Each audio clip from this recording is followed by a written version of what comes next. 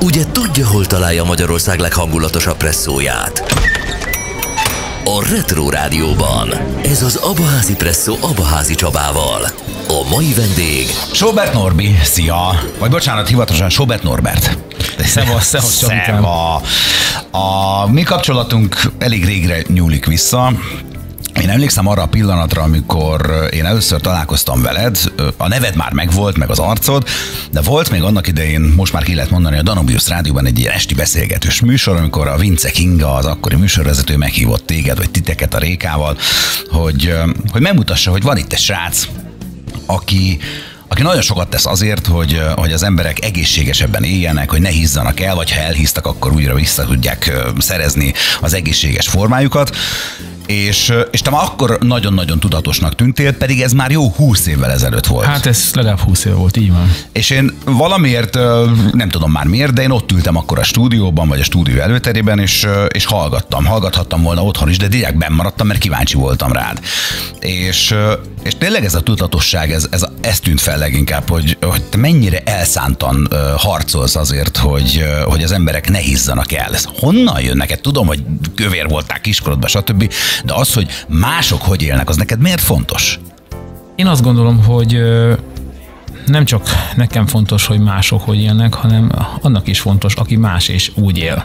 Hát ö, szerintem aki el van hízva, mindenki le akar folyni, csak két ember van, van, aki bevallja, van, aki meg úgymond sztrájkol érte, hogy igen, kövér vagyok, jogom van kövér lenni, fogadd el, de ez egy bolondság. Tehát ez egy önmegmagyarázás, ez legalább egy, egy olyan dolog, mint amikor mondok neked egy, egy, egy példát, na nem is tudok példát mondani. Mert akár mondok, csak sértő lesz, úgyhogy nem, nem, na majd ezekre a sértő dolgokra úgyhogy is nem, rámegyünk. nem, nem mondok rá semmilyen példát.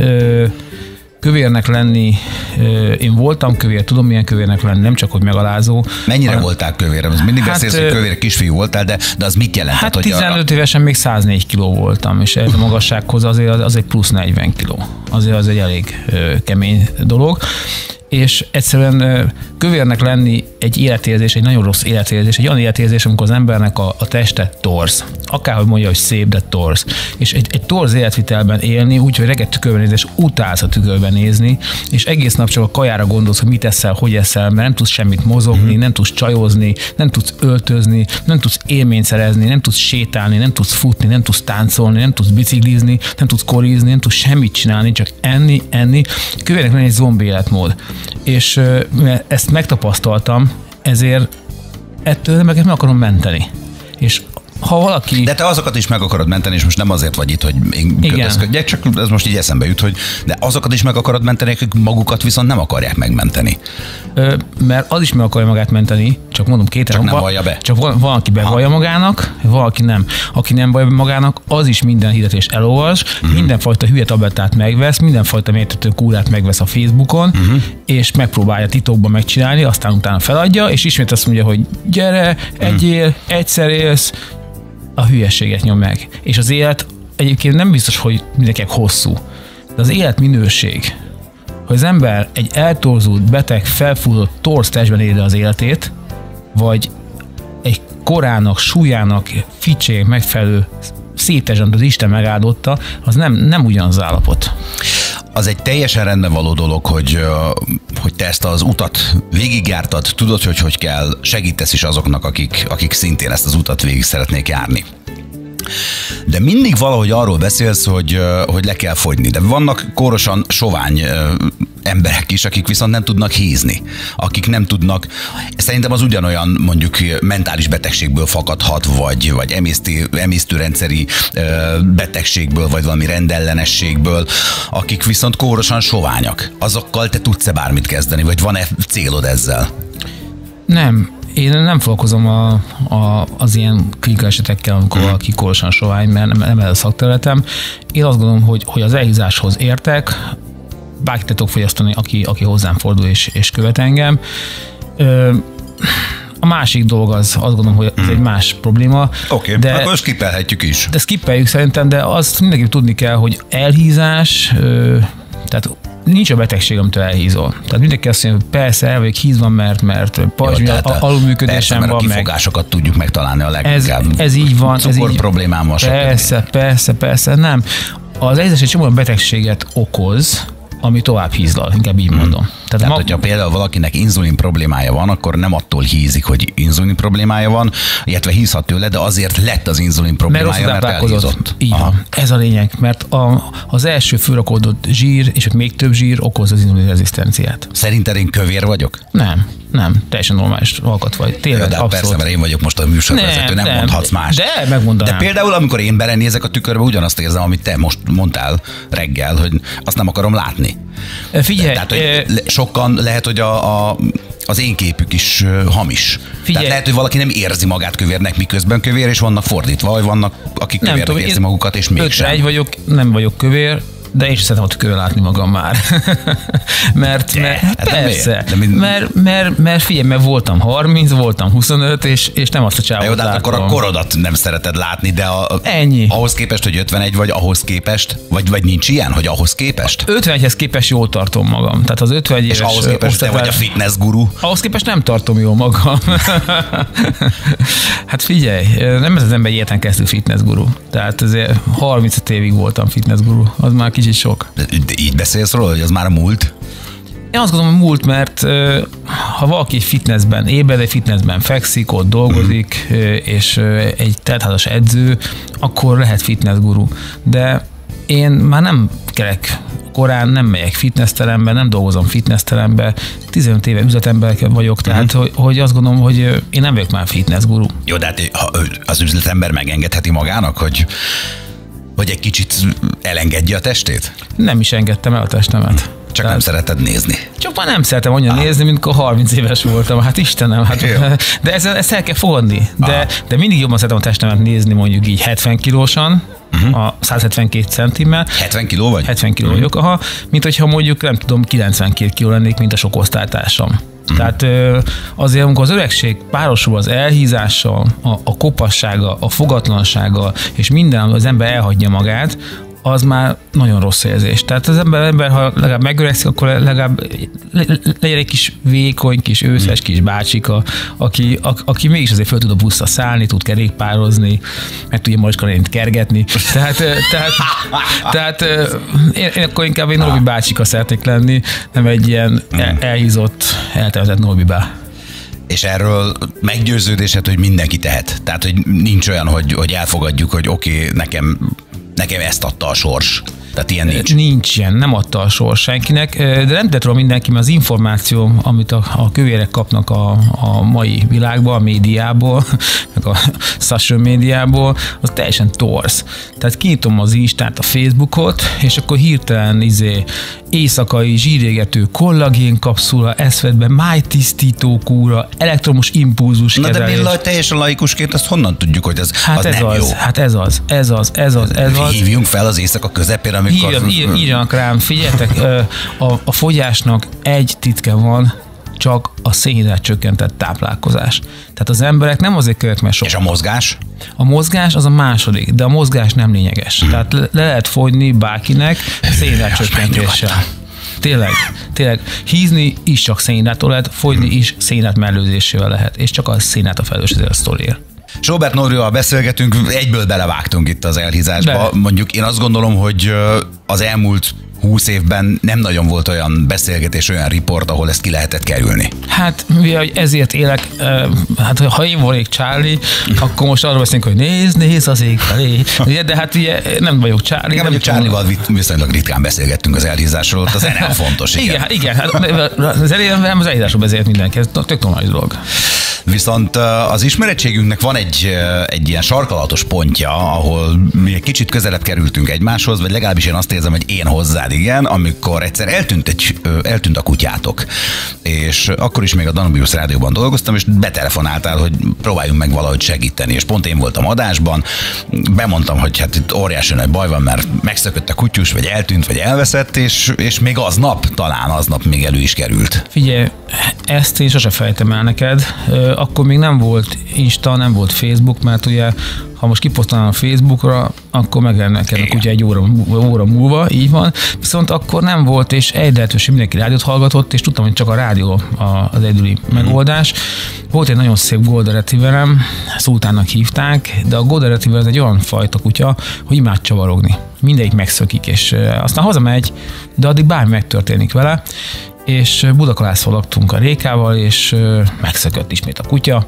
Ismét akkor már sokat szóra? Pá, sokat szóra, na sokat szóra szökött meg és csalgott, és nagyon féltettem, mert több órát nem tart meg több órán keresztül, az aggasztó, és miután bemondta a rádióba, Békásról hívtak föl. Szóval Békás megy el. Békás megy, volt egy búcsú, és elment a kutya a búcsúba, Éhes volt, nem adtatok neki enni. Dehogy nem adtunk neki enni, de elment a búcsúba, és ott, ott bratizott egy, egy vúrsliba a szultán. Óriási volt, de amikor megjött, annyira, És annyira abban sírtunk. a vúrsliban, ott abban a, a búcsúban pont a Danabius rádió szólt, és akkor valaki nézd már, hát itt a Norbi kutyája. Valaki, ilyen, valaki hallotta a kocsiba a rádiót, és megismerte, és fölhívtak minket a megadott számon. Szóval ez óriási. Tegyük a szívünkre a kezünket, szerinted? Mert mondtad, hogy a, a Golden Retriever azért hazatalál a csavargás után. Meg lett volna a kutya akkor is, hogyha nem mondom be a rádióba. Lehet, hogy nem, lehet, hogy igen. Van olyan barátom, a kutyája megszökött, és elcsapta egy autó, és nem lett oh. meg többet. Szóval azért mondom, hogy ez benne van a dologban.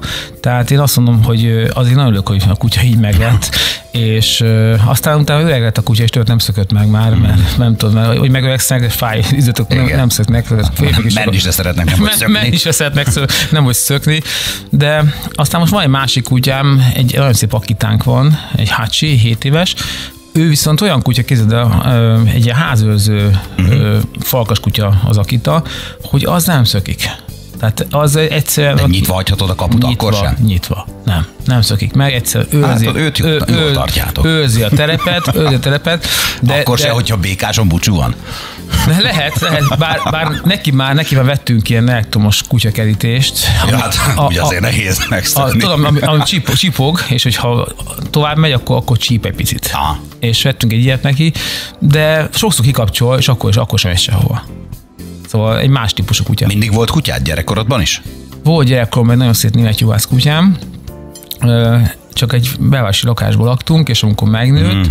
akkor anyám még elvitték vidékre, és egyszer hazamentem a súlyból, és nem volt kutyám, és az... Hát jó, lehet, lehet, hogy a kutyának jobb volt egyébként. A kutyának jobb volt, nekem nagy lelkitörés mm. volt, hogy a kutyát elvitték. És utána több nyáron keresztül én jártam a gazdagékhoz, meg gazdagékhoz kerültünk, amikor szegények mm. voltunk, én jártam gazdagékhoz vigyázni a kutyára minden nyáron. És most mennyi időd van kutyázni? Rengeteg, rengeteg időm van. Reggel azzal kezdem a napot, hogy fölkelek, megiszom a kávét, kutyát, kiengedem, persze megölelget, ő is De engem. Várjunk, kiengedem, az azt jelenti, hogy benne alszik veletek? Benne alszik. Benne alszik. Nem, nem, az előszobában. Tehát a napban nem jöhet be, az ki van tiltva, de ott az előszobában, mert a belső kutya a legjobb riasztó rendszer egyébként, mm. ezt még rendőrként megtanultam. Külső kutyát, ha egy betörő jön, azt el tudják hallgattatni. Igen. A belsőt azt nem tudják, és ez a jó benne. És akkor kiengeded? Kiengedem, megpuszilgatom, aztán... De van olyan, hogy elmész vele futni, sétáltatni, vagy elég neki a kert? A ö, birtok? Ö, nem elég neki a kert.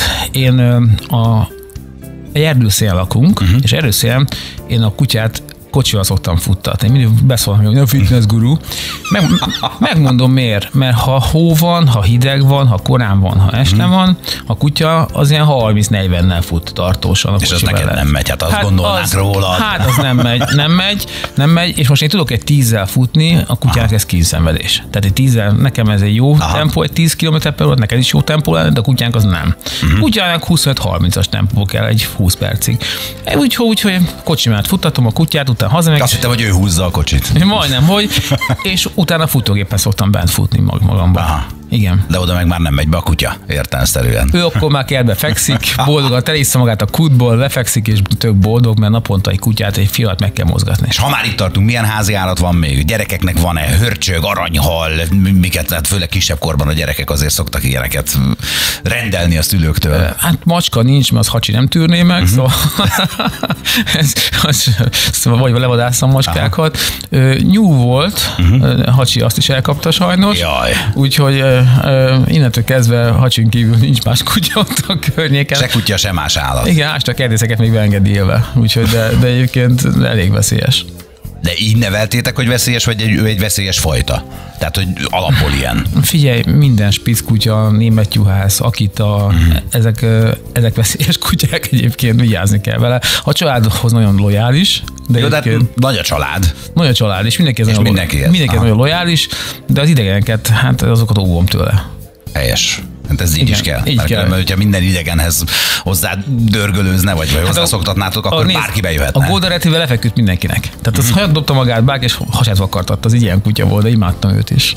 Hát mondjuk egy külső szemlélőnek, vagy egy vendégnek szerethetőbb akkor egy Golden Retriever. Igen, igen. igen. És, és a hacs az egy olyan a kutya az életemben, aki meg is mentette az életemet. De az milyen szem? Ja, amikor, amikor volt a strokeod? Igen, igen, van róla egy videófelvételem, jöttem haza futásból, kutyával futottam, akkor még kint futottam. Uh-huh. A 10 km fel tudtam futni, Aha. a kutyát kihoztam a lassú tempóval. Megékeztem, tök jó voltam, és egyszer csak összeestem, semmi nem történt, egy jel nélkül, így pács. És a kutya volt mellettem egy órán keresztül a kapu előtt, és amikor a szomszéd megjött, a kutya oda rohant a szomszédhoz, befutott a kertjébe, és kijött a szomszéddal. A kutya sosem megy be a szomszéd kertjébe. És gondolom ez a szomszédnak is feltűnt, hogy akkor itt valami nincs hogy a hacs jött a kertjébe, Aha. és jött ki a kutyámmal, és kutya odahozta hozzám, mert videófelvétel van.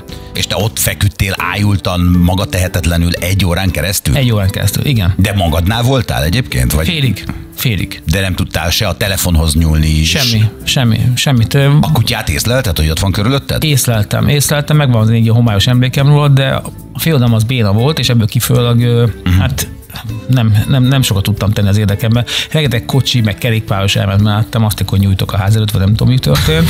Tényleg így van. Bocsánat, hogy nevetek. Igen, ez, ez így van, de a, a kutyám az észlelt a szomszéd megjön, és bement, és kertjébe is odahozta a szomszédot hozzám. És Nyilvánvalóan az első SMS, ami most erre jön, hogy de miért van neked erről videófelvételed? Azért, mert a ház körben van kamerázva, hogy minden ház a környéken, és Aha. mindenkinek minden háza van kamerázva, uh-huh. és mivel a kaput estem össze, ott látjuk, hogy kicsönget be, és akkor... És utólag vissza tudtátok nézni. és én kizettem, hát egy két Nem volt otthon senki egyébként a házban? Nem volt, nem volt otthon a családod? Otthon volt a család. Ja, csak nem tűnt fel, hogy te most már egy órával többet futsz. hát Vagy- már föltűnt, de hát nem, nem, nem voltam telefon se. Ja, hogy telefon nélkül mentél futni. Uh-huh. Tehát nem is tudtak felhívni. Nem, Jó nem, vagy, és nem, nem. néztek ki a ház elé, hogy És nem néztek ki a ház elé. Így van, így van, így van. Úgy, úgy, hogy Pedig ez, gondolom a te időbeosztásod mellett azt nem lehet megtenni, hogy egyszer csak egy órával tovább maradsz valahol. de meg lehet tenni. meg lehet tenni. Tehát Úgyhogy, akkor ezért, ezért nem indultak a keresésedre. hát mivel, hogy tök jó voltam, és a semmi, Ah. semmiből ért ez a, a, a sztori, ezért nem magadott senki. Most már nem, nem, fél, nem, nem engednek futni. Ah. Tehát most már csak otthon tudok futni, futógépen, kontroll mellett, minden. De hát ez nincs ez a probléma. Jó. Erről egy kicsit még szeretnék veled beszélgetni, és nem azért, mert, mert a nyomorodon szeretnék egy kicsit rugózni. De, de nincs nyomorom, én nagyon jó vagyok, köszönöm Jó, de szépen. hát azért, azért gondolom abban a pillanatban az nem volt annyira vidám történet, Akkor mint nem. ahogy utólag most erről tudunk beszélgetni. Igen, igen. Úgyhogy ezzel folytatjuk. Sobert Norbival beszélgetünk, és azért gondoltam, hogy térjünk egy kicsit vissza erre a stroke-ra, ami, ami az előbb elmeséltél, hogy egy órán keresztül feküdtél a kapud előtt, a saját kapud előtt, és a kutyád mentette meg az életedet. Igen. Mert ráadásul volt már ezelőtt is, nem? Vagy, Nem. Kétszer, kétszer voltál te kórházban. Nem, a, a, egyszer a szíveddel, egyszer a, a Egyszer-. A, a kettő az összefügg, mert én ö, igazából szívbetegen születtem, Igen. tehát egy billentyű hibával, sokan vannak így ezzel, megműtötték tíz éve, de sajnos kórházi fertőzést szedtem össze, és azért úgy nem műtöttek. Uh-huh. Na és a, akkor egyszer így kvázi, kvázi meghaltam egy kicsit. De nincs ez a probléma, de Hát most már viszonylag könnyen beszélsz erről, nincs ezzel probléma. Tíz év eltelt, most nincsen probléma a szívemmel, Aha. de egy probléma van a, a dologban, hogy hát nézd, nem tudom, hogy, hogy a, a Covid-nak köszönhetem ezt a sztrokot, vagy az oltásnak, ezt nem tudom eldönteni. Uh-huh. Nézd, én jobban jártam, mint Csólán Szilveszter, az egészen biztos, tehát uh-huh. köszönöm a jó Istennek, hogy itt lehetek és erről beszélhetek, de, de én már kettő hónapja fájt a torkom és fájt a fejem, szedtem az antibiotikumot, és nem múlt el. És Sajnos a sportolók azok nagyon ki vannak téve a covid mert ugye a, a sztrokot az is okozza, hogy a, a vérsűrűség megnő. És a vérsűrűség az meg tud nőni például akkor is, hogyha az ember folyadékot veszít, és elkezd keményen edzeni. És hogyha ez a Covid-dal párosul, ez egy elég tragikus dolog, nagyon sok ismerősöm meghalt ebben, nem csak Csolán Szilveszter, hanem Nem véletlenül mondják azt, hogy a, a, aki elkapta a Covidot, utána nem sportolhat, nem edzhet, ki kell hagyni egy, egy Pontosan. elég hosszú időt, és ugye ezzel a legnagyobb probléma, hogy sokan nem tudják, hogy Amerikában, a Covidon. Amerikában van egy protokoll, például, hogyha Covid oltást kapsz, akkor utána két hónapig vérhítót kell szedni mindenkinek. Uh-huh. Tehát ez, ezt, ezt, De ettől függetlenül sportolni lehet, tehát nem kell kihagyni két hónapot az élsportolóknak azért, mert kaptak ha, oltást. ha vérhítót szed, akkor nem. Aha. Tehát, Tehát, ö, nyilván a, a, az összes élsportoló, mert hogy a, a sporttevékenység nem állt le az elmúlt két évben, csak a szórakoztatóipar. Így van, és, így van. És voltak meccsek, és most nem Így csak van. foci, hanem vízilabda, kézilabda, minden. Így Tehát van. ők akkor úgy kaptak oltást, hogy utána még kellett vérhigítót szedniük. Valószínűleg biztos, hogy kellett végítót szedni. Több fajta végító van, nem, nem csak brutális végítók vannak Aha. egyébként, és ö, szerintem ez egy fontos információ. És ez nem volt meg neked. És amúgy is egyébként férfiaknak szerintem Magyarországon 40 fölött egyébként minden egészséges és nem egészséges férfinak is kell a vérigításról gondoskodni. Tehát legalább egy aspirin protectet valamit kell naponta szedni ahhoz, hogy, hogy megelőzze a, a stroke veszélyt, mert a stroke egyébként ö, a világon és Magyarországon a vezető halálok egyébként. Teljesen laikusként fogom feltenni a kérdést. Igen. Úgy teszek, mintha nem értenék hozzá, de csak azért, mert meg tudom tenni, mert nem értek hozzá. Igen. hogy te mindig beszélsz az egészséges életmódról, és tényleg így élsz most már 15 éves korod óta ö, egészsége, azt mondtad, nem? Tehát, hogy 15 évesen voltál Igen, 100 igen, kiló, és aztán igen. elkezdtél fogyni. Azt gondolná az ember, a laikus ember, hogy aki ennyire egészségesen él, és egészségesen étkezik, és sokat mozog, és, és figyel a testére, és figyel az egészségére, annak nem jöhetnek ilyenek az életében, hogy egyszer, egyszer csak sztrókot kap. Van-e bármilyen összefüggés? Gondolom, hogy nincs, mert kaptál. De hogy hogy maradsz így hiteles? Érted? Tehát, hogy hogy tudod úgy megőrizni a hitelességedet, hogy elmondod, hogy milyen veszélyekkel jár az, hogyha az ember túlzott szénhidrátot fogyaszt, hogyha súlyfeleslege van, miközben te teljesen egészségesként ott fekszel a saját kapud előtt. Ö, Jó a kérdés. Köszönöm szépen. Szerinted, sz- szerinted szegény Csolány nem, nem volt hiteles? De. Hát akkor ennyi a kérdés. Tehát ez ne- nem, nem azon múlik, hogy kövér vagy vagy sovány, hanem mit dob a, mit dob a gép.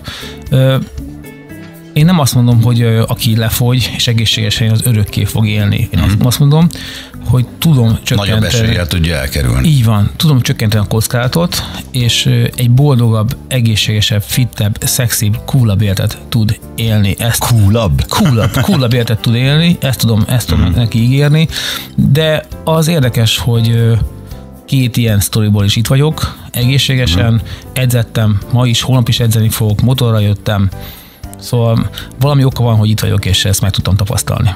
Mit változtatott az életeden? Az, hogy, mert a, az, hogy te a szíveddel kórházban voltál, jó, az a fertőzés nem volt benne, de azért valamennyire mégis belekalkulálja az ember, hogy, hogyha tudja, hogy új született, hogy, hogy nincs minden rendben a szívével. De amikor jön egy ilyen hirtelen valami, ami, ami mind derültékből a villámcsapások, csak, gond, csak változtat valamin.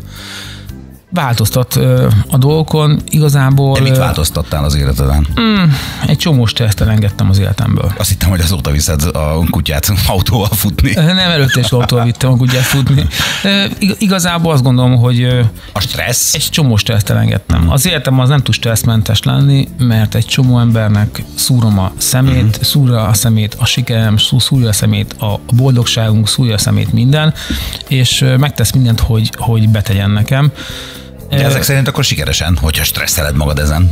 És most már nem stresszelem magam rajta. Tehát ig- igazából azt gondolom, De azt hogy hogy lehet kikapcsolni a stresszt? Hát ezzel szenvedünk, szerintem az emberiség ezzel szenved, a, hogy stresszel. A kutyámtól tanultam és egy nagyon jó megoldást, amikor a kutyát szoktam az utcán futtatni, a kerítésnek rohannak a kutyák. Igen. És ordítva ugatnak, vágódnak, tépik a kerítést a hacsi. A hacsi oda se fut, oda se néz, hanem szépen megáll, és arcon húgyozza őket. Szó szerint. Szó szerint fel, felmeri a bal lábát. Most azt mondod, hogy te mindenkit, aki stresszel Na, téged. nem, nem, de, de, de, de, de, de enne- ennek van egy üzenete, csak ak- akkor kell harcolni, Értem. ha valaki eléd áll. Uh-huh. Tehát ha, ha valaki a kerítés mellett ugat, küzdelned, beszól, feljelent, Nem kell foglalkozni. Ha valaki eléd áll, A kerítésen kívülieket most próbálom átforgatni a te Igen. Igen. életedre, a, a trollok a Facebookon, azok Ez az a- újságírók, ez a akik, akik folyamatosan... Újságíró nincsen probléma. Én azt gondolom, hogy, hogy a kutya az egy nagy tanítómester, mert a kutya, a hacsi, ha egy kutya kijön és szembeáll vele, abból óriási bunyó lesz. Uh-huh. Tudom, és az nagyon kell vigyázni vele, tényleg. De abban a pillanatban, hogy azt hiszed, hogy a kerítésnek vágódnak a kutyák, mondom, odáll és oda pisil. Tehát leszarja. Nekem is van kutyám, nekem egy spánielem van, az az érdekes, hogy a kerítésen belül iszonyú nagy hangja van, de véletlenül kinyílik a kapu, és a két kutya, tehát a, a kinti, aki Igen. Befelé ugat, meg a benti, aki kifelé ugat, egymásra néz, és elkezdik egymást szaglászni. Tehát a, amikor nincs közöttük kerítés, akkor egyből tök jóban vannak. A- A, Tehát a- lehet, hogy neked is közel kell De- kerülned de- azokhoz, akik, akiknek, nem tudom, de akikkel várjál, problémád de van, a vagy akiknek ha- problémájuk a van veled. Ha bent van a telken belül, akkor sem volt kerítésen kívülre. Tehát ez egy érdekes dolog, uh-huh. akkor, akkor kerül konfliktusba, amikor nincs kerítés, amikor face-to-face van, és És akkor hosszas megfigyeléseket végeztél a kutyádon, hogy ő hogy csinálja, és akkor meg, megpróbáltad átvenni a módszerét? Igen, ültem kosó, gondolkodtam, és néztem a mondja, nézd, megőrült, két kutya vergődik, ennek szarik rá. Hát, de abban a pillanatban, hogy egy kutya kim van az úton, a zsebből uh-huh. felborzol fel a falka füle, és akkor már, akkor, akkor start a kéz, akkor meg kell fogni. Uh-huh. Ez, ez egy nagyon izgalmas sztori, de addig, amíg nincs az útjába senki, addig nem kell a dolgon stresszelni. Ez, ez, ez a tanítás a kutyának.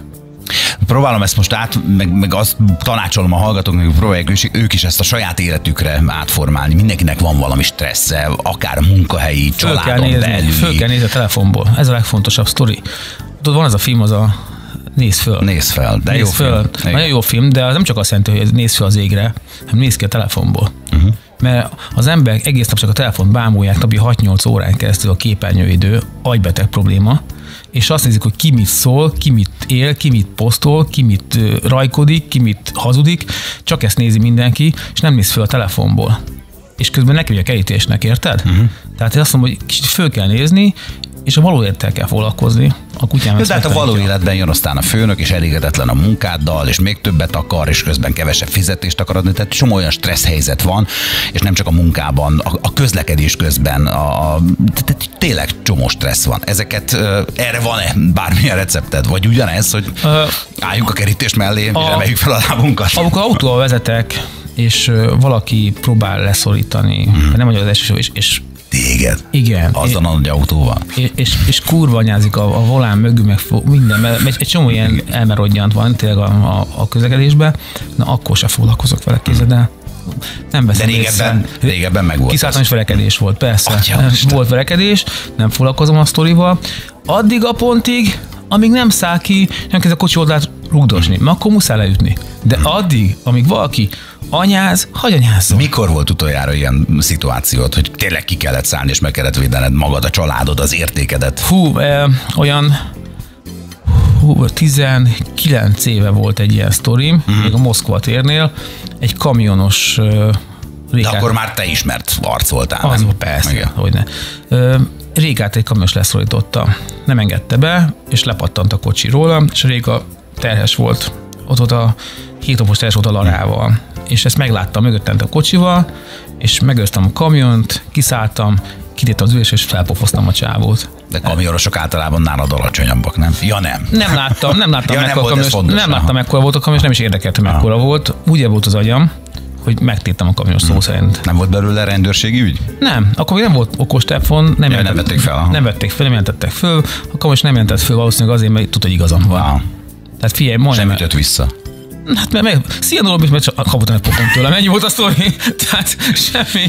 Sobert Norbival beszélgetünk. Nyilvánvalóan az, amiről most az előbb beszéltünk, hogy sok stresszért korábban, az annak köszönhető, hogy iszonyú magasra nőttél. Most nem a méretedet, hanem hogy ahhoz képest, hogy honnan indultál el. És arra vagyok kíváncsi, hogy neked volt-e bármiféle elképzelésed gyerekkorodban arról, hogy mi leszel, ha nagy leszel? Volt-e bármilyen terved, hogy, hogy hova fogsz eljutni? Hogy, hogy mivel fogsz foglalkozni? Igazából minden akartam lenni. Tehát akartam pilóta lenni, akartam vadászpilóta lenni, akartam űrhajós lenni, akartam kamionsofőr lenni. Hogy aztán jöjjön majd egy fitness guru, és lepofoz a Moszkva téren. Én lepofoz a Moszkva téren. Így van, tehát akartam bármi lenni, de, nem volt semmilyen karrierképem. Tehát nem De, volt de azt semmi- elképzelted, hogy milyen körülmények között fogsz élni? Mert ezt mesélted, hogy ugye édesapád lelépett, és ketten éltetek édesanyáddal, és Igen. nyilván ilyenkor a gyerek elképzel magának valami hihetetlenül a, az a, akkori életénél luxusabb és gazdagabb életet. Elképzelted magad felnőttként? Nem, nem tudtam elképzelni magam felnőttként. Ö, nincsenek hosszú távú terveim, a mai világban sincs hosszú távú tervem egyébként. Tehát akkor se volt. Akkor se volt, ilyen fél éves, egy éves tervek vannak a fejemben, és azt szerint megyek tovább, hogy az élet milyen kaput nyit ki. És mikor érezted azt, hogy, hogy belőled a, az egykori szegény kövér kisfiúból Igen. lehet, akár egy, egy országos, országosan ismert, sikeres ember. Most teljesen mindegy, hogy sikeres sportember vagy sikeres üzletember, egyáltalán sikeres ember. Akkor éreztem, amikor ö, 94-ben elkezdtem órákat tartani a Margit szigeten, egy kis fitnessterembe, és nem fértek el a lányok az órámon, és egyre több terembe hívtak Budapesten, 96, 96, 97, és volt egy este négy teltházas órám, Pff, négy, gondolj bele. Az hány embert jelentett akkor a Hát, teltház? hát ak- akkor egy ilyen 50 ember volt, uh-huh. hát egy, terem 25-30 fős termek voltak, fitnessterem, volt nagyon fitnessterem, és az én órámon dupla létszám volt, egy teplésön két ember tornázott, tehát dűrület volt, és hát gondoljatok bele, hogy tulajdonképpen egy hét alatt megkerestem azt a pénzt, amit a rendőrségen tisztként főállásba megkerestem. És az egy dolog, hogy, hogy ezzel pénzt kerestél, de azt érezted akkor, hogy hatással vagy az emberekre? Hát, hogy ne éreztem volna. Meg gondolom nem csak a pénztárcádat nézted, hogy jó, Nem, de nem, jó ez. nem, nem, de, de a pénz is nagyon fontos sztori. Mert ha az Na ember... jó, akkor ha már itt tartunk, Igen. beszéljünk a pénzről, aztán majd erre Igen. vissza fogunk kanyarodni. Hogy mit, mit jelent számodra a pénz? Hogy miért, miért fontos sztoria az életedben a pénz? Biztonságot jelent. Pénz nélkül nincs biztonságérzet. Ha nincs pénzed, akkor nem vagy biztonságban. Ha, És ha pénzed van, akkor mindig biztonságban vagy? Hát nagyobb biztonságban, mint ha nincs pénzed. Tudod, tudod sok embernek például hitele van. És a hitel azért rosszabb, mint amikor nincs pénzed. Mert, mert akkor mínuszba vagy. Neked volt hiteled? Nem. Sose Soha? volt. Soha nem kellett kölcsönt felvenned? Soha, soha, soha. Te adtál kölcsönt valakinek valaha? Adtam, és nem, nem is adták vissza. hát ez, ez tipikus eset. Én azt gondolom, hogy Egykori barátok fogadjunk. egykori barátok. Én azt gondolom, hogy addig kell nyugtázkodni, amíg a takaró ér. És hogyha nincs pénzed, a legrosszabb a kölcsön kérsz, mert akkor mínuszba leszel. És nem fogsz több pénzt keresni attól, mert hiteled van. Uh-huh. Ez egy nagyon veszélyes dolog, és ö, szerintem a pénz a mai világban a biztonságot jelenti, ugyanazt jelenti minden ember számára, mint mondjuk a kőkorszakban a tűz, meg a zsákmány. Tehát ö, nagyon-nagyon fontos, a pénz ugyannyira fontos, mint az egészség, mint a család, mint a szeretet. Ez egy egység, és ennek egységbe kell lenni, ennek a dolognak, ennek a három dolognak. El nem tudod képzelni az életet pénz nélkül. Nem tudom, mert akkor veszélybe sorolnám az életemet, és a családom életet is veszélybe sorolnám. Nem szabad pénz nélkül élni. Arról, ezt most hogy kérdezzem meg, hogy van-e egy minimum, amivel te, te és a családod biztonságban tudtok élni? És most nem arra vagyok kíváncsi, hogy mennyi van a zsebedben, hanem mi az az összeg, ami, amitől te biztonságban vagy? Hát egy szép összeg, de nem mondom ki. Aha. De, a, de an- annak lenni kell a számlán, mert ha nincsen, akkor, akkor aggódni kell, hogy mi lesz, hogyha nincs munka, miért. Tessék, Covid volt, visszaesés volt a Covid-ba. Utána most, Neked is? Nekem is, így van. Utána ukrán háború van, az élelmiszerek mennek fel az égbe, a pénz nem ér annyit, mint egy éve, üzemanyag, gáz, minden el fog szállni előbb-utóbb. És ez még, még téged is érint, aki egy sikeres vállalkozó, egy sikeres hát, üzletember most már évtizedek óta. Hát hogy ne érintene? Hát hogyha az élelmiszer árak el fognak a pokolba szabadulni, akkor szerinted ki a franc fog egészségesen élni, meg diétázni? Akkor mindenki De az, az drágább? Az egészségesért élt amúgy nem drágább, mert ha aki egészséges táplálkozik, az kevesebbet eszik. Uh-huh. Tehát ő igazából ugyanúgy költ, Meg kevesebbet költ gyógyszerre. így van, de hogyha szükség van, és, és nincsen már csak fehér kenyér, uh-huh. meg kristálycukor, meg olaj, meg klotyópapír, Akkor nem fogja a másfél vagy kétszer annyiba kerülő akkor, update kenyeret vásárolni. akkor nem fog senki update-et felni, nem fog senki vegánt felni, nem fog senki odafigyelni semmire, hanem küzd a túlélésre mindenki. És ez egy, ez, egy, ez egy fontos probléma a világban. Robert Norbival visszakanyarodunk a kezdetekre, amikor azt mondtad, hogy elkezdted érezni azt, hogy megváltozhat az életed, és hogy te egy sikeres emberré tudsz válni. És sikeressé is váltál, csak a, a, a tudatosságra vagyok kíváncsi, hogy, hogy aztán azt elkezdted tudatosan építeni, vagy a szerencse mennyi szerepet játszott ebben? Egyszer valahol azt mondtad, hogy egy szerencsés embernek érzed magad. Nyilván az, amikor te elkezdtél a Margit szigeten órákat adni 94-ben, akkor nem volt minden sarkon egy fitnessterem, ahol, ahol valaki hasonló órákat tartott. Tehát ez lehet egyfajta szerencse, de lehet egyfajta megérzés is, vagy tudatosság benne, hogy te most akkor ezt csinálni fogod, mert ebben biznisz van.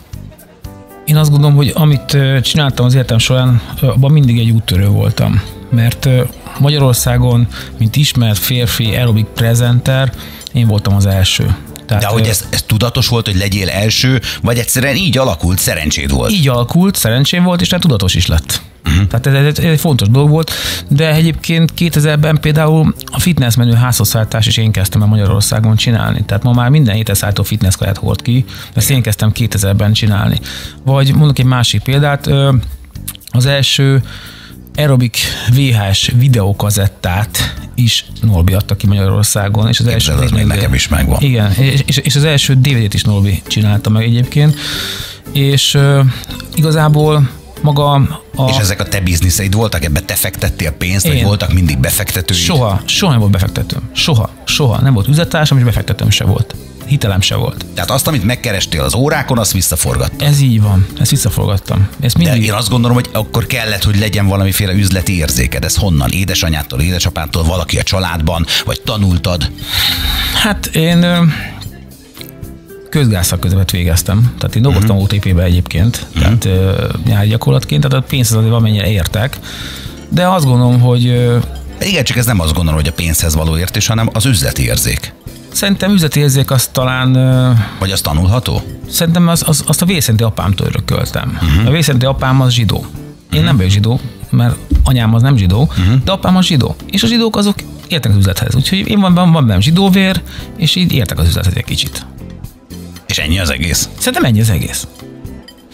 Jó, és aztán elkezdtél sikereket elérni nem is akármilyen sikereket. Az egy dolog, hogy, hogy megismert téged az ország, nem csak a nevedet, hanem az arcodat is. Aztán elkezdtél pénzt keresni. És akkor azokat a pénzeket mindig forgattad vissza, és közben járt az agyat, hogy hogy lehet például szénhidrát csökkentett lisztet előállítani. Tehát, hogy ezek vagy itt már azért bekapcsolódtak, egy, egy bekapcsolódott egy stáb, aki, aki rád épült, vagy a te népszerűségedre épült rá? 2002-ben írtam meg a Novi Titok című könyvet, ez 2004-ben jelent meg. Ez volt az update-nek a nagy sikere. Ebből a könyvből elfogyott 280 ezer példány. Azt a minden. Ö, akkor... Kötelező volt megvenni mindenkinek. Aki... Hát nem volt kötelező, de megvette mindenki.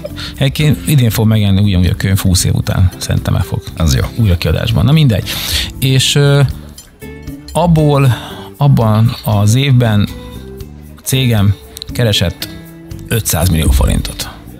De most 2004-ről beszélünk és akkor, akkor vehettem volna magamnak csodás házat, meg, meg helikoptert, meg magárepülőt is vettem volna belőle. Nem azt vettem, hanem elkezdtem professzort, tanárokat, mérnököket fölvenni, és elkezdtem egy szénelcsökkentett élelmiszervonat fejleszteni. És a Magyarországon az első szénelcsökkentett kenyér, tészta, ez mind update volt. Cukormentes fagyi, csokoládé. Én befogadtam akkor az update-be, 300 millió forintot, és elkezdtem egy franchise-t építeni. De hogy ez honnan jön? Próbálom megfogni a pillanatot, hogy kerested ezt a rengeteg pénzt. És visszafogadtam a cégbe. Oké, okay, csak hogy feküdtél otthon, nézted a nem tudom a tévét, vagy olvastál valamit, vagy zenét hallgattál, és mondtad, hú, hát akkor én most felveszek már egy professzor, de milyen jó lenne kitalálni valamit, ami egyedi. Nem, ez, ez, ez onnan jött, hogy alapvetően akkor is ugyanazt mondtam, hogy fogyni nem a mozgástól, a szénercsökkentéstől mm. folyt. De nem ezt tud csökkenteni, hogy a, az ember csak sajton, meg húson, meg káposztán él. Meg nem lehet akkor, hogy félzsemlét eszem csak, tehát így az van. is csökkentett az egyhez képest. Így van, így van, és azt akartam, hogy legyen olyan kakaós csiga, legyen olyan nápoi, olyan csoki, olyan fagyi. Tehát, hogy ne kelljen megvonni magunktól az élvezetet. Meg, megeszünk, és a, a, a compliance, a költetőség, az jó lesz. Uh-huh. És ebbe kezdtem hinni, És Ennek ez, volt valami külföldi megfelelője? És volt nem valahonnan... volt, és nem volt, nem volt, nem volt megfelelő. Amerikában, Angliában, Svájcban, Németország, Oroszországban most sincsen olyan házat, mint az update hogy friss pékség, uh-huh. hamburger, csoki, fagyi, minden is lehet enni kövérnek, fitnessnek, bárkinek. Tehát én azt gondolom, hogy nem volt, és ebbe, ebbe fektettem be azt a sok pénzt, és lehet, hogy, lehet, hogy jó tettem, lehet, hogy nem tudom, hogy jó tettem el, lehet, hogy vettem volna ingatlanokat, telket hát vettem volna, nem tudom, mit tettem volna. Ahhoz képest én azt gondolom, hogy azóta vettél telket, meg vettem, vettél ingatlant. Vettem, abból, vettem, ami, ami vettem. ebből lett. Ez így van, de most is nagyon sok pénzt forgatok vissza a fejlesztésekre egyébként, majd nap. Még mindig? Még mindig. mindig még mindig van hova? Van, van, vannak új fejlesztések, és ö, szeretnék még új dolgokat kihozni, bár már nagy, nagy a piaci verseny, uh-huh. de akkor is szeretnék új dolgokat csinálni, mert, ö, mert ebbe hiszek, mert azt gondolom, hogy ö, egy, egy új, úgy jó élni, hogy az ember bármit megehet, finomat, és mégse hízik tőle. És ez egy tök jó érzés szerintem. Sobert Norbi a vendégem, és azért gondoltam, hogy kapaszkodjunk bele ebbe a nagy piaci versenybe, mert amikor te üzletemberré váltál, akkor nyilvánvalóan, mint üzletember, még nem volt tapasztalatod. Én nem ismerem az üzleti világot, de valahogy azt gondolom, hogy aki aki megpróbál üzletemberként sikeres lenni, annak, annak nem biztos, hogy, hogy egyenes az útja. Tehát nyilvánvalóan egy csomó buktató van. Az volt. És nyilvánvalóan megjelenik a konkurencia, vagy megjelennek azok, akik addig uralták a, a, a piacot, vagy, vagy szerettek volna hasonló termékeket eladni, hogy az egy óriási nagy küzdelem lehetett hogy te üzletemberként megállj a talpadon, ne akarják elvenni tőled azt, amit te kitaláltál, ne akarjanak lenyomni, ne akarjanak tőled mindent elvenni. Tehát egy ilyen hollywoodi filmet játszom most le a fejemben, ez... amikor jön valaki sikeresként, és azt félreállítják. Ez mai napig így van, mert a piaci versenytársak azok nem csinálnak mást, mint egymást fejengetik. Tehát engem minden évben fölöntenek a gazdasági versenyhivatalnál, a nébiknél, mindenhol, mert azt gondolja... De mivel? Bármivel, hát bármivel, hát ott élőzött a Facebookon, valamit mondasz, és kiemelnek egy szót, és az a főjelentenek, amit mondasz, tök mindegy. Tehát tényleg. Hát és a, akkor a, a, innentől kezdve, akkor neked már egy ellened indul egy eljárás, neked bíróságra kell járnod. Mindig eljárás van ellenem, hosszú-hosszú évek óta. És azt gondolom, hogy, mert azt gondolja konkurencia, hogyha ha engem a piacról kiiktat, akkor ő nagyobb lesz, de nem lesz nagyobb. Tehát minden, hogy én is ki tudok a piacról, én is leszek nagyobb ezzel a sztorival. Ez nem így működik. Tehát az ilyet mond egy impulzus vásárlás. És igazából nem, az, nem úgy van, hogy van egy egységes matek, és el kell osztani. Magyarországon a, a, a 2 millió kövér ember van effektív. Tehát aki effektív nagyon kövér. A felnőtt lakosságnak... Az mit jelent a nagyon kövér? Az mennyi súlyfelesleg? Hát hány százalék? Ez, nem tudom. Ez a kettes, hármas típusú elhízás, ez a több mint 50 kiló van egy emberen, ez 2 millió. Tehát, hogy 50 plusz kiló. 50 plusz, ez 2 Tehát, millió ember. Igen. Normálisan 80 kilónak kellene lenni, de 130 vagyok, akkor vagyok elhízott. Na, na és ebből van 2 millió ember Magyarországon. Atya úristen. Na most ehhez képest gondolj bele, hogy az elmúlt 20 évben nekem van napi kb. tízzer ügyfelem. Uh-huh. Tehát tízezer ügyfél. A tízezer ügyfél az a tízezer vásárlót jelent? Aki... Kb. igen, Aha. összességében országosan minden tízezer, ahogy több is volt, de nagyobb tízezer van. Ez néha ugyanaz, néha más, néha fogy, néha... Uh-huh. Tehát azért elég sokan meg tudtam már fogyasztani a, a 20 év alatt itt napi tízezer emberrel, de akkor is ez mennyi? Tehát a kettő millióhoz képest mennyi a tízezer? És én, én vagyok a piacvezető állítólag. Uh-huh. Ez vicc. Tehát, tehát az összes tehát, többi ennél kevesebb ügyféllel dolgozik. Igen, tehát nem az kéne. Szerintem a, a versenytársaknak össze kéne fogni velem, el, úgy kéne kommunikálni, hogy a kettő millió emberből legalább egy millió változon és mhm. egészségesen éljen. Az a vicc, hogy az egészséges életmód szegmens a teljes élelmiszerbeli eladásnak az 1-2 százalékát jelenti. Ez vicc. Legalább százszor több embernek van szükség erre. Közben meg az jut eszembe, és most megint egy kicsit provokálni foglak, hogy neked az kifejezetten jó, hogyha sok a kövér ember, aki fogyni szeretne, mert a, addig addig el tudod adni a termékedet, de ha őket lefogyasztod, és mindenkit lefogyasztasz, akkor utána mihez fogsz kezdeni? Képzeld el, hogy a vásárlóüzőme az nem is kövér. A vásárlóüzőme az, aki lefolyott az update termékkel, és tartja a súlyát 5-10-20 éve. Tehát egy, egy, az, az is nehéz. Egy csomó csinos úr és csinos nő jár az update-be, Pontosan azért, mert Hogy nem szeretnének újra nem, elhízni. nem akar újra elhízni. Tehát én azt mondom, azt mondom hogy, hogy igazából nekem tök mindegy, hogy az ember kövér, vagy, vagy sovány. Az a lényeg, hogy, hogy fi, tudatos helyen is figyeljen az életmódjára, figyeljen a szénelbevitelre. És e- ebbe tudok neki segíteni, mert tudok neki adni, adni olyan kenyeret, amiben fejkenyben 60 g szénhidrát van mondjuk, ez egy uh-huh. napi adag mondjuk, 10 deka, egy napi adag, érted? Teljes meg 54, az is tök mindegy.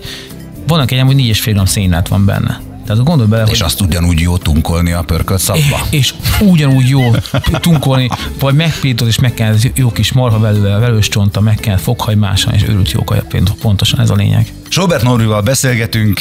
Az az érdekesség, hogy te nagyon sokat beszélsz arról, hogy, hogy mi a célod, mi a terved, csak néha, és ezt te is elmondtad már több helyen, a, a kommunikációddal van probléma. Azzal van.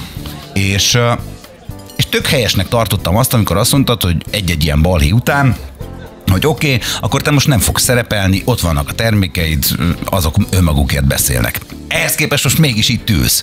Tehát, hogy mi mozgat, hogy, hogy te mégiscsak valahogy vállald a nyilvánosságot? Ez neked miért fontos? Hiszen azt gondolom, hogy annélkül is mennek a boltok, annélkül is az emberek szeretnének fogyni, és tudják, hogy veled lehet. Tehát miért fontos számodra a szereplés? Nem tudom, igazából nekem most a velő találkozás volt a fontos. Tehát nem a szereplés. Ez mondjuk jól hangzik. Figyelj, nagyon sok interjúba hívnak egyébként, hidd el, Aha. rengeteg rádió és rengeteg tévé, és nem megyek el. Tehát hívnak reggel tévéműsorra, nem, nem kell. Ha nem, mindenhova elmennél, akkor nem is nagyon tudnál mással foglalkozni. nem gondolom. mással foglalkozni, ez így van. Tehát igazából nem olyan fontos nekem egy interjú, csak tudtam azt, hogy veled más interjúzni, mind, és nem csak akkor az, mert kutyát megtaláltad, hanem, hanem, hanem más. Hát de még ráadásul az is volt. Igen, igen, tehát igazából... Oké, okay, akkor másképp kérdezem, Igen, hogy igen. korábban az miért volt fontos, hogy, hogy akár a feleségeddel, sőt az egész családoddal szerepeljetek? Nyilván annélkül is működött volna, vagy ez ennyit dobott az üzleten, hogy ti szerepeltetek méltatlan műsorokban is? Figyelj, régen, régen nem voltunk annyira ismertek, mint most. Aha. És most annyira ismertek vagyunk, hogy egy médiaszereplés nem ad hozzá semmit az ismertségünkhöz. És sőt, sőt, még azt mondják, jaj, megint szerepel, biztos pénzt kap érte.